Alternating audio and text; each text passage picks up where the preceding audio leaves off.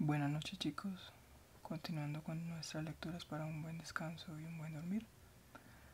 Vamos a continuar con nuestro libro de Larousse, Los superpreguntones, el mundo mundial. Respuestas rápidas para preguntas ingeniosas. En nuestro capítulo de construcciones humanas.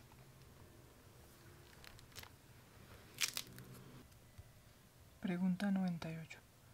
¿Cuántas personas viven en la Tierra? Un montón. El 1 de enero del 2014 la población de la Tierra llegó a los 7.200 millones de personas. Los países más poblados son en este orden. China, India, Estados Unidos, Indonesia, Brasil, Pakistán, Nigeria, Bangladesh y Rusia. Pregunta 99. ¿Los aviones aterrizan en el mar? No, los aviones aterrizan si se posan sobre el agua, pero solo aquellos que están fabricados para poder hacerlo, como los hidroaviones. Pregunta 100. ¿En qué países tienes que mirar a la derecha antes de cruzar? En los que conducen por la derecha. Reino Unido, Irlanda, Australia, Malta, Chipre y Japón.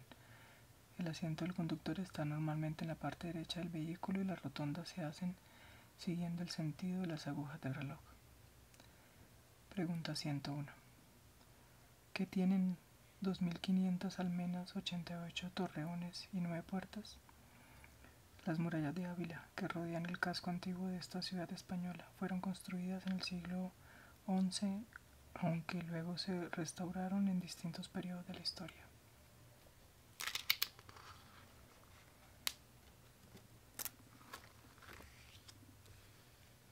Pregunta 102. ¿Qué representan las estrellas de la bandera de Estados Unidos? Los diferentes estados que forman el país. Ahora hay 50, pero no siempre fue así. La bandera se fue, muy, se fue modificando según avanzaba la historia del país. En 1795 solo tenía 15 y en 1960 alcanzó las 50 que tiene ahora tras la admisión de Hawái. Pregunta 103. ¿Por qué Europa se llama Europa? El nombre Europa procede de un personaje de la historia mitológica griega. Europa era la princesa de una ciudad mediterránea de quien se enamoró Zeus, el rey de los dioses. Pregunta 104. ¿Existe la ciudad de los monos? Sí, en Tailandia. Se llama Lopburi y es popular por ser una de las ciudades más antiguas del país, pero sobre todo por ser el hogar de miles de simios que roban comida a los turistas despistados o posan entre los templos para ser los más los protagonistas de sus fotografías. Pregunta 107, 105. ¿Existieron los dibujantes gigantes? No lo sabemos, pero en la pampa de Nazca en Perú hay unos dibujos gigantes trazados en el suelo que fueron creados hace miles de años. Nadie sabe quién ni cómo aparecieron en pleno desierto. Colibríes, cóndores, una ballena, un mono, una araña, un caracol y un perro. La única manera de verlos enteros es desde un avión o subiéndose a lo alto de una montaña. Pregunta 106. ¿Qué es el Camino de Santiago? Es una ruta que recorren peregrinos de todo el mundo desde el siglo IX para llegar a Santiago de Compostela y visitar la catedral, donde se encuentran las supuestas reliquias, los restos del apóstol Santiago. Muchos hacen el camino andando por etapas, durmiendo en refugios, pero hay quien, hay quien opta por la bicicleta. En ambos casos es un recorrido largo y para el que se requiere un gran esfuerzo físico, ya que en cada etapa se recorren entre 25 y 35 kilómetros aproximadamente. Pregunta 107. ¿A qué país pertenece la Antártida? A ninguno. Las únicas personas que viven allí son los investigadores de las estaciones científicas internacionales, que se dedican a estudiar los animales polares, el hielo, la geografía y el clima del lugar. Pregunta 108. ¿Por qué no se cae la torre de Pisa? Aunque se haya hecho famosa por estar inclinada, la torre de Pisa en Italia no se construyó así, sino que se torció por un despiste del arquitecto de la obra. El suelo, el suelo no era tan sólido como se creía. Se puede entrar y subir los 300 escalones hasta el último piso sin peligro.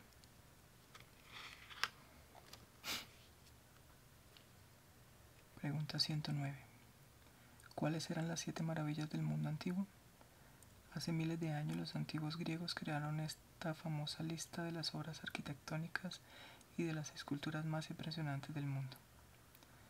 Las pirámides de Egipto, el templo de Artemisa en Efeso, los jardines colgantes de Babilonia, el mausoleo de Halicarnaso, la estatua de Zeus en Olimpia, el faro de Alejandría, el coloso de Rodas.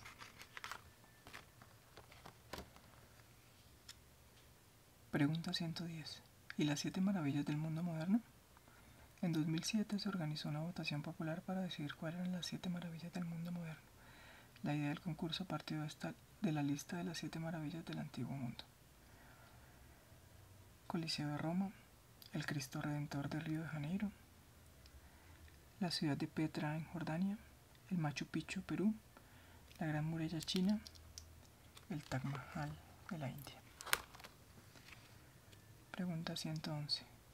¿Qué es el himno de la alegría? Es una melodía que compuso Ludwig van Beethoven como parte final de su novena sinfonía. Actualmente es el himno de la Unión Europea o una organización de países europeos.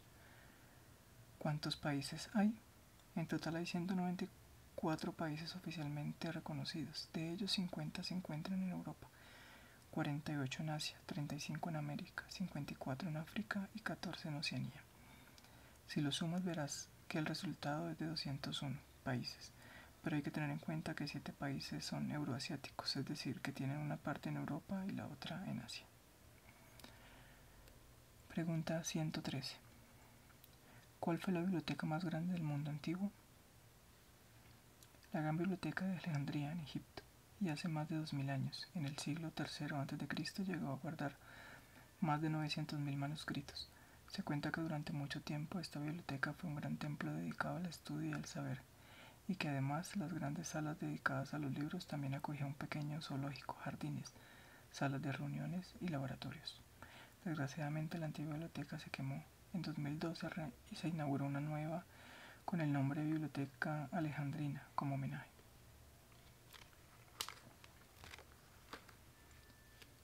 Pregunta 114. ¿Existen aeropuertos flotantes? Sí, muchos de ellos se encuentran en Japón, un país que no tiene mucha tierra firme disponible, ya que está formado por numerosas islas.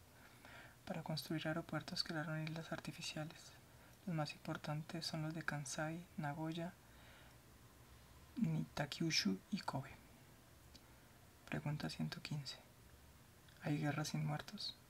Hay algunas guerras en que en lugar de armas de fuego se utilizan otros elementos tomates, caramelos, bombardas de harina. Algunas de las más famosas son la tomatina de Buñol en Valencia o la batalla de caramelos de Pilanova y la Getru en Barcelona.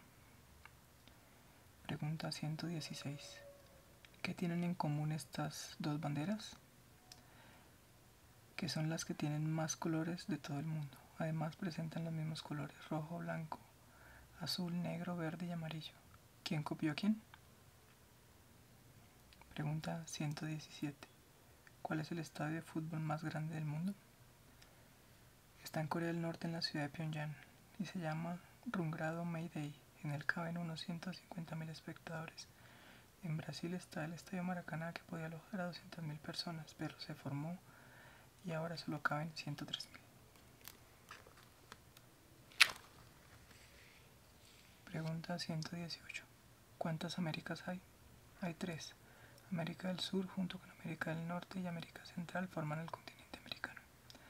A veces usamos otros nombres dependiendo de las lenguas, que se hablan allí. Si nos referimos a todos los países en que se habla español y portugués, diremos Iberoamérica o América Latina, incluyendo Brasil, porque fueron colonizados por los habitantes de la península ibérica que hablan idiomas derivados del latín. Si solo nos queremos referir a aquellos en los que se habla español, diremos Iber Hispanoamérica, sin Brasil.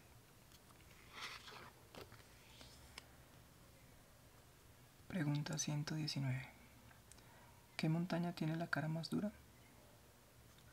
El monte Rushmore, en Dakota del Sur, Estados Unidos. En él se esculpió una escultura gigante con los rostros de los presidentes más importantes de la historia del país.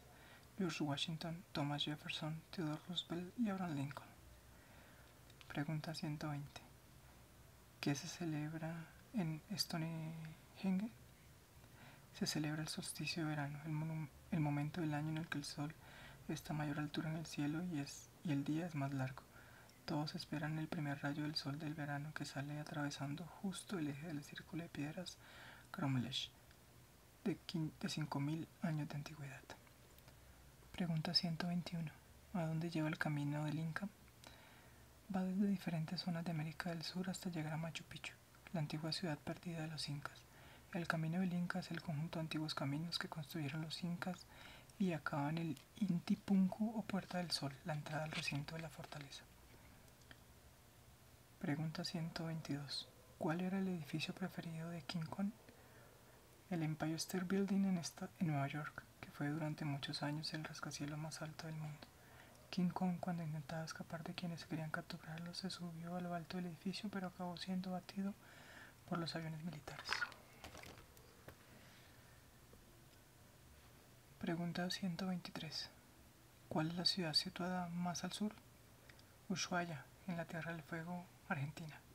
Tiene 57.000 habitantes y recibe a muchos turistas que tienen como destino la Antártida para ver pingüinos, ballenas o leones marinos. ¿Cuántos países hablan español? El español es la lengua oficial de 22 países. En Europa solo en España, en América en muchos, en África solo en Guinea Ecuatorial. También hay otros muchos donde mucha gente lo habla. Por ejemplo, en Estados Unidos la segunda lengua más hablada, con casi 500 millones de habitantes. El español es la tercera lengua más hablada del mundo. Pregunta 125. ¿Cuándo se acabará la Sagrada Familia? Nadie lo sabe. El templo modernista de la Sagrada Familia, uno de los momentos más emblemáticos y visitados en Barcelona, fue proyectada por Antonio Gaudí. Aunque Gaudí murió en el año 1926 sin haber acabado de construirlo, otros arquitectos intentaron concluirlo. Se enterraba a los emperadores chinos con sus ejércitos, no siempre pero uno de ellos estaba muy bien acompañado por más de 8.000 figuras de soldados y caballos de terracota de tamaño real, en el gran mausoleo del primer emperador Qin. Pregunta 127. ¿Cuál es el puente más largo del mundo? El gran puente Danjan Kunchun en China tiene una longitud de 164.800 metros y se construyó para que la vía del tren que va de Pekín a Shanghái pudiera atravesar el lago Yanchen. Pregunta 128. ¿Cuál es la ciudad habitada más vieja del mundo? Jericó en Palestina. No solo es la más antigua, sino también la que tiene la menor altura del mundo. Se encuentra a 258 metros por debajo del nivel del mar. Pregunta 129. ¿Cómo se puede pasar del Pacífico al Atlántico? Atravesando el Canal de Panamá. Antes de su construcción, los barcos bordeaban toda la costa de América del Sur pasando por el Cabo de Hornos. Para ir, por ejemplo, de Nueva York a San Francisco, dos ciudades de Estados Unidos, en las costas del Pacífico y el Atlántico respectivamente, había que surcar 20.000 kilómetros y se tardaba cerca de 100 días. Con la construcción del canal en el año 1914 ya se podía realizar la travesía en poco más de un mes y navegando solo 8.000 kilómetros. Pregunta 130. ¿Qué es el Ojo de Londres? En inglés se llama London Edge y es una rueda de la fortuna situada en el centro de la ciudad. Es uno de los principales lugares turísticos de la capital inglesa, ya que desde sus cápsulas se tienen vistas increíbles.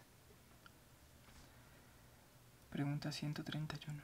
¿Se puede subir a la Estatua de la Libertad? Sí, pagando, claro.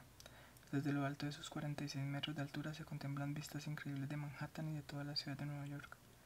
¿Sabías que fue un regalo de los franceses para conmemorar los 100 años de la Declaración de Independencia de los Estados Unidos? Pregunta 132. ¿Cuáles son las ciudades más pobladas?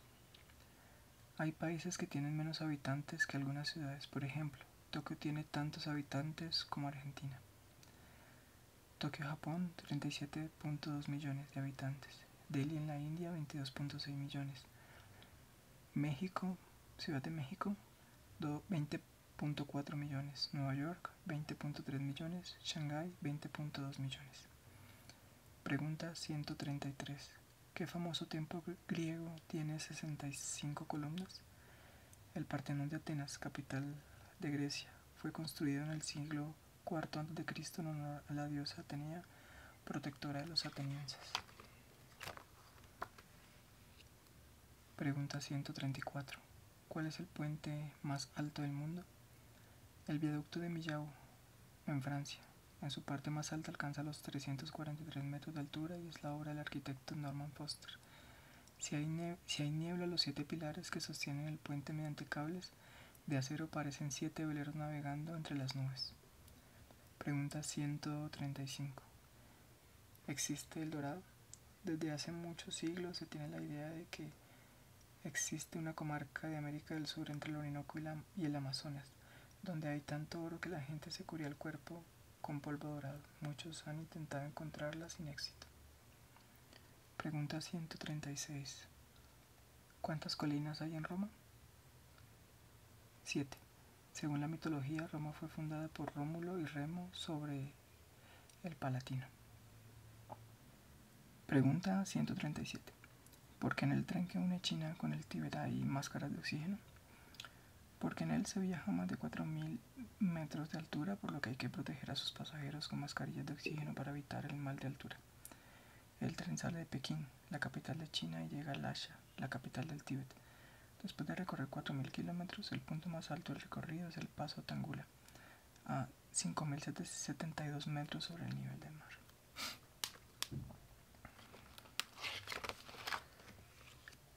Pregunta 138. ¿Cuál es el túnel más largo del mundo? El túnel de San Gotardo, en Suiza, mide 57 kilómetros y hará más corto y más fácil cruzar los Alpes. El agujero está hecho, pero aún no se acaba de acondicionar. Habrá que esperar hasta finales de 2016. Pregunta 139. ¿Los recursos naturales se acabarán algún día? Si los consumimos de un modo excesivo es casi seguro que sí, pero si reciclamos lo evitaremos.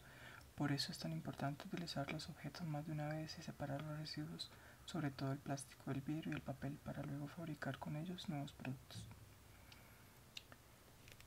Bueno chicos, con esta pregunta 139 damos por terminado nuestro libro